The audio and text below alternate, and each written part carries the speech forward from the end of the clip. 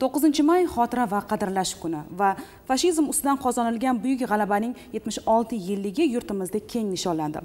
O'tganlar yod etilib bugun biz bilan yashab kelayotganlarga chuqur hurmat ehtirom ko'rsatildi. Ammo e, afsuski ayrim e, ko'ngilni xira qiluvchi vaziyatlar ham sodir etildi aynan mana shu sanada.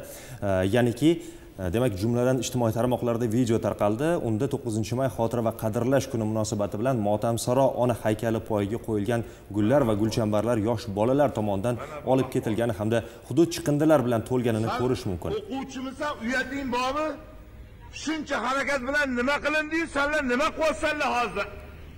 Gul sotasanmi? Onangga olib borasanmi mana sizga haykal mana sizga hayot. Mana sizga bo'layotgan ish. O tegma demadinglarmi uyatsizlar demadinglarmi sizlar nima qilib o'tiribsizlar bu yerda? Qilingan ishni mehnatlarni qaranglar korzinka yig'yapsizlarmi? Hozircha bu qaysi viloyatda yuz bergani noma'lum. umid qilamizki bunga tez orada aniqlik kiritiladi.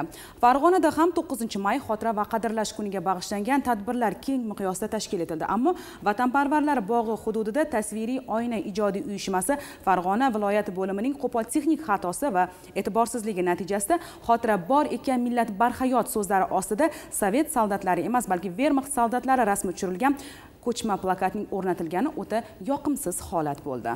Viloyat hokimligi ushbu holat yuzasidan rasmiy bayonot berdi. Unda aytilishicha ushbu masala yuzasidan o'rganish boshlangan. Dastlabki surishtiruvga ko'ra internetdan ikkinchi jahon urushi davriga oid rasmlarga qidiruv berilib e, yetarli bilimsizlik tufayli tasodifiy rasm olinib plakat dizaynida foydalanilgan.